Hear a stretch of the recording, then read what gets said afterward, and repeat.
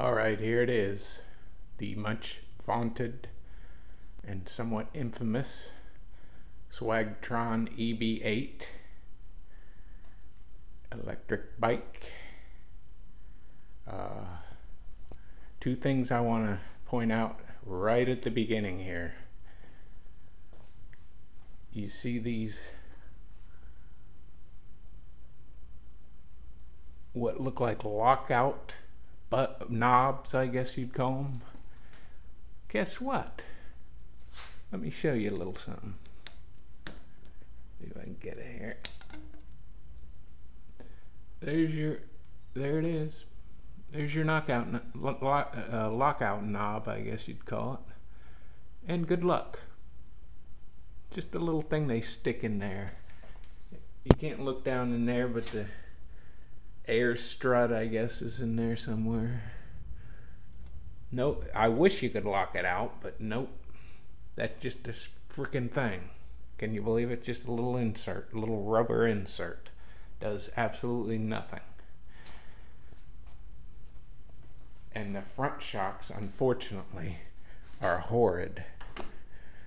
They bottom out and they top out just I don't know.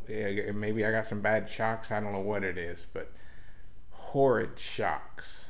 Uh, the back one seems to work. No way to know for sure. But the other thing that I wanted to point out right at the beginning is these wheels, the holes in the wheels. This and they're they're double walled, which is kind of nice, you know, a little stronger. But putting these holes in here or any kind any kind of cutting into here just not a good idea.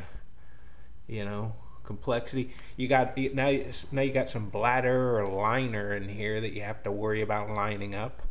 If you read one of the Amazon reviews, the tire blows up, and I don't doubt it. Sharp, sharp edges here, very sharp on both of these, which is why you need the liner, and then that's something you'd have to play with. So if you get an e-bike, especially one of the fat ones, avoid the cutouts with a passion. Just a complication.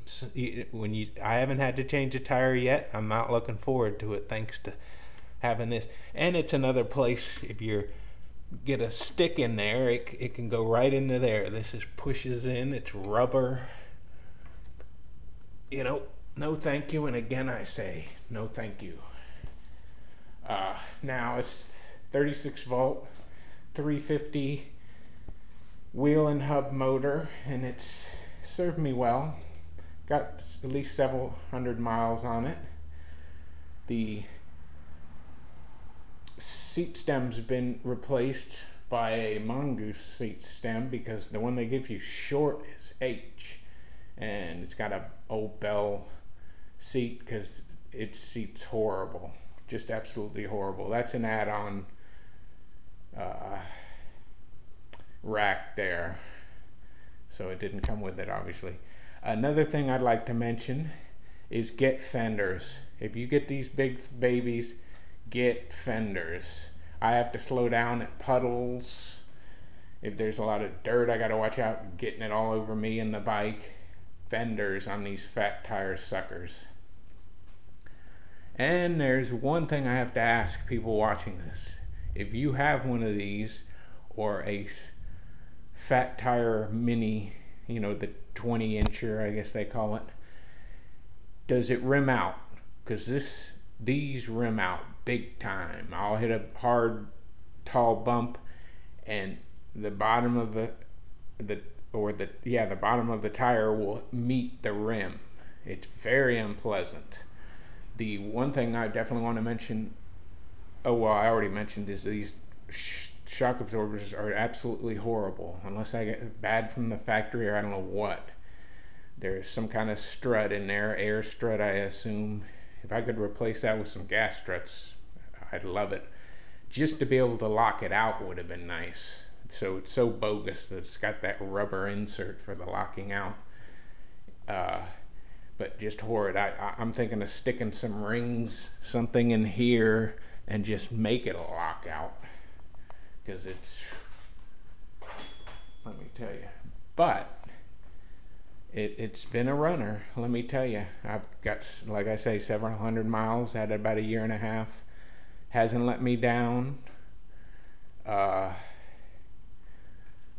I, not really worth mentioning but of course this thing is just horrid whoever thought of that real pain to get back in there just an absolute nightmare. That's the plug-in for the uh, charging while it's in there. Uh, love the tires. You know, it's it's like riding a motorcycle on the sidewalk. Don't mind that at all. Uh, I did have, if you'll notice, the kickstand is affixed to the rear axle at the nut there. And I have had problems with that coming undone and then it it caused this to be crooked. So anybody if you if, if this is crooked and you're worried about and the brake's not working well it's crooked it could be this having loosened up because every time you do that you mess with this a little bit. So check all four of these. That's one thing i didn't do and this one was loose and it was halfway off of the damn you know the axle so I lucked out, but now I got to replace the brake pads because they wore. Because it's one thing about the discs is it's got to be even on both sides and the disc itself. So almost more trouble than they're worth, but they stops good. Uh, but as I say, I paid 900. If these go on sale for 7.99 or 800, I wouldn't get it. I think you're looking at factory refurbish, you're looking at returns, uh, factory second, I don't know what. But I paid nine, it came, it was obviously straight from the factory, packaged well. One of the pedals had uncollapsed and was sticking out of the bag, but thankfully it didn't do any damage or any problems, so no problem there.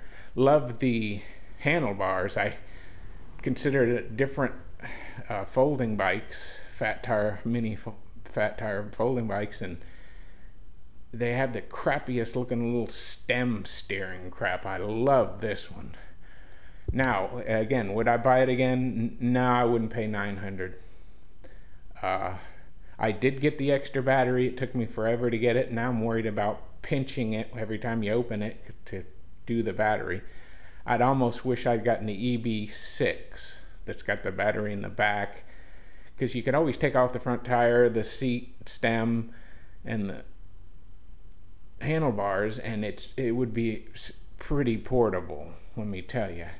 This, yes, you're getting it portable one way, but then it, it turns, it gets real fat. I don't think you could get it in a truck. A hatchback maybe, but not in the trunk as fat as it is, you know, unless it's got a real big opening. Uh, but you know, hey, I've had a blast on it. You know, I it, it hasn't let me down. No flats.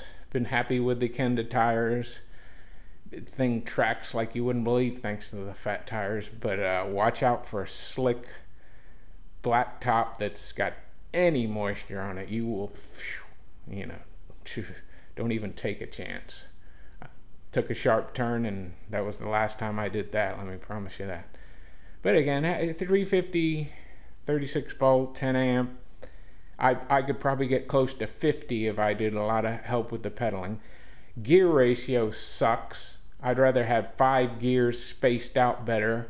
You get to the seventh tallest gear and it's so far out that it's it's almost like it's grinding a little bit because it's at a bad angle. And the top tallest gear probably good for 12, 15 miles an hour. This thing will do 18. So if you've got it fully wide open, good luck. You'll be the Keystone Cop. But, uh, you know, I, I, it's a good looking. I don't like uh, Swagtron all over the place. You know, that's a little gaudy for my taste, to be quite honest. Somebody took some paint thinner and ghosted it out. That I was tempted to put some uh, reflective tape over it or something, but eh, you know, I don't care. uh, but she's a runner, you know. She'll do the 18. uh, you can go well over an hour just diming it with no pedaling. So it's you know, it's it, it was a gift. If I'd have had to earn 900 bucks, it'd been another thing. But you know, I, I'm tempted to either lock out the fronts or stick some gas struts or do something. If anybody knows any hack I can do with these front forks. Uh, and get a much better seat. The seat that came with it and the stem. Stem was too short, seat was lousy. This is barely doing it. Get a foam. To hell with gel. The foam seats are the way to go if you if you got a bony butt like I do. So get the foam. Uh, but you know, hey, it's it's a good looking bike. I'll give it that much. Uh, I'm not sure about having to replace the battery, you know, keep opening it and then you're flexing the, everything, the, the cables, and I was a little worried about. There's a lot of problems with the battery sliding in and not doing things right, getting unhinged or messed up. So sticking the second one in, you know, but uh, it's you know, it's not a thumbs up, it's not a thumbs down. But I would I would look at the EB six, I think it is, maybe the EB5. I don't know what it is. It's got the battery in the back. You wouldn't have to do anything. And like I say, you could break it down and it'd be almost as small as this. I don't think it's worth. It does protect the battery though. That's nice and hides it. It looks nice, but uh, no, I don't think so. The XP, I hear a lot of good things about that. It's got the doesn't have a a fork in the front but that's you know uh, air shock. So, but it's you know I think they put it in the right. They give you fenders and a lot of other things. That's one thing. I've heard about a three-inch tire, regular size bike, e-bike, for thirteen hundred. If you check YouTube, maybe you'll find it. That's the one I'd go for. I I love these tires, but if, if they please in the comment tell me if you own one of these mini fat tires, do they rim out on a hard, tall bump? Because these rim out way too easily. And I've they're recommended 20 pounds max, and I've got them at 25 because you know I want to go as far as I can go. I'm just cruising the suburban vi- environment. So please tell me in the comments if you own one of these and they naturally rim out, maybe because they're just too wide or they can't carry enough pressure. But this rims out way too easy. It's scary. Uh, but that's my review for the EB8. Uh, you know, it looks good. It's run great. Haven't had problems with the tires. Uh, no flats. But the shocks, if this is the way they come normally, horrid. It's a shame that's got the faked here, let me show that one more time. Here's you go. Here's your lockout. Let me lock it out. Okay, now it's locked out. Yep, all locked out. Not. Thanks, Swagtron. Hey, it looks nice. This is more looks than go, let me tell you. Don't get the XP, get the look at the EB six or five, whatever it is. This, you know, again, looks good. It has run well, but I wouldn't spend another nine and get it again. Uh, thanks for watching my review. Hope you got a little something out of it. Bye.